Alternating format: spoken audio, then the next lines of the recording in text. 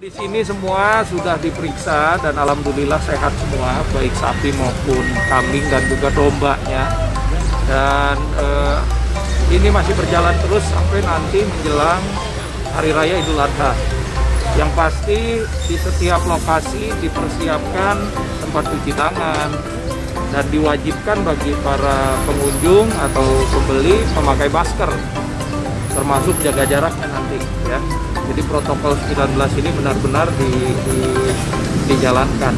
Nah, untuk kemudian kalau dari kesehatan hewan kurban ini semua dari dinas eh, pertanian kita peternakan sudah seperti biasa menyisir seluruh lapak-lapak ataupun tempat-tempat eh, penampungan sementara hewan-hewan kurban. Jadi wajib semuanya nanti dicek dan ini e, menjamin kesehatan hewan-hewan kurban bagi masyarakat.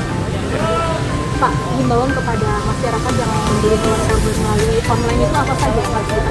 Oh, kalau kalau yang online ini tentu saja harus diperhatikan penyedianya, ya suppliernya, jangan sampai nanti tertipu. Tapi lebih bagus lagi beli langsung melihat kondisinya karena kan ada kaidah-kaidahnya kalau untuk berkorban juga eh, apa namanya binatangnya harus sempurna tidak boleh cacat dan lain sebagainya. Jadi sebaiknya melihat langsung hewan kurban.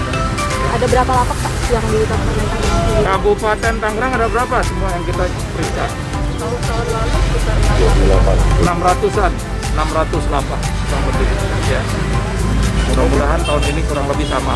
Oke baik terima kasih